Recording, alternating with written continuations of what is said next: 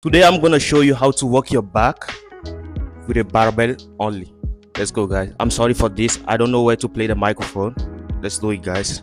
The most important is the workout, not this. Okay, the first exercise I'm gonna show you is barbell bent over rows. That's it guys. This, this, and this. Three sets of 12 reps. The second exercise is barbell underhand rows. Place your palms like this okay guys and carry the weight. All right? One two three four. Three sets of 12 reps. The third exercise is barbell hit that rows. Okay guys to hit the upper back.